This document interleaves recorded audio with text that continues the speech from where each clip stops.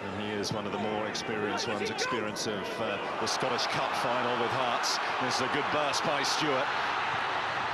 And a real chance here. Oh, came back off the defender. And what a follow-up that is. Burns gives the lead back to the Queen of the South. What a start to the second half. Well, we did say that John Stewart's pace would trouble Aberdeen. They'd make defenders turn. And he certainly does it here. Great step over from O'Connor. And John Stewart is too quick for Zander Diamond. Gets across the front of him. Knows that Diamond can't tackle him there.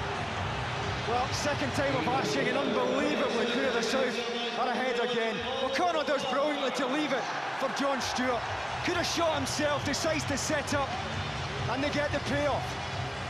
And once again, Aberdeen have a few questions to ask here. Paul Bunzett came off, the first attempt came off the inside of his heel. But he didn't have to be asked at the second attempt. The man with the slide.